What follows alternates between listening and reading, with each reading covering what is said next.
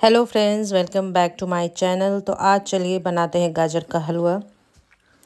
तो यहाँ मैं बना रही हूँ तीन के जी गाजर ली थी मार्केट से, उसे अच्छे से पील कर लिया है और इसे थोड़ोली मैंने वॉश किया है और ये काम मैंने दिया है हस्बैंड को। तो ये ग्रेड हो चुका है, ये है मॉर्निंग टाइम और यहाँ मैंने ढाई के जी मिल्क को बॉईल किया है।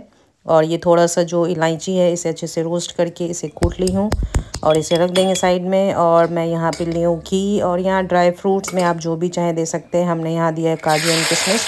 आप चाहें तो पिस्ता दे सकते हैं, बादाम वॉट एवर यू वॉन्ट तो फिर इसे अच्छे से हमने फ्राई किया है और ये देखिए फ्राई हो गया है, निकाल लिया। फिर इसमें इलायची डालेंगे और ये जो मैंने ग्रेट किया था और इसे अच्छे से हम जो भी घी है, इसे अच्छे से मिक्स कर देंगे और इन्हें करना है फुल फ्लेम में। और इस साइड फिर मैं दूध है ना, इसको अच्छे से हमें बॉईल करके बहुत ज़्यादा रिड्यूस करना है अप्रॉक्स थ्री फोर्थ उसके बाद ये अच्छे से इसे फिर से चलाएँगे और इसका जो कलर है रेड से थोड़ा येलोइश हो चुका है। और ये रहा मिल्क जो कि अब इसमें जाएगा और फुल फैट मिल्क लिया था। और उसके बाद इसे अच्छे से मिक्स करेंगे, इसे चलाते रहेंगे, थोड़ा रिड्यूस और करेंगे। इसे पकने में लगभग आधा से एक घंटा लगेगा।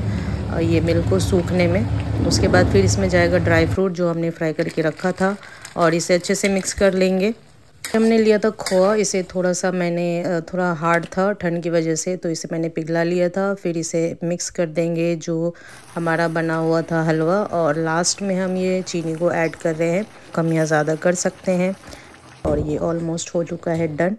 और लास्ट में हम थोड़ा सा इलायची पाउडर जो फ़र्स्ट में मैंने कूटा था उसे अच्छे से मिक्स करेंगे इसमें। और क्या स्मेल था क्या टेस्ट था मज़ा ही आ गया। तो ये सोची चले और आप लोग से भी शेयर करते हैं। और इस तरह बनाइए काफ़ी ज़्यादा टेस्टी बनता है। मैं ये इंजॉय कर रही हूँ फिर मैं हस्बैंड को टेस्ट कराई उसे भी बहुत ज़्यादा पसंद आया।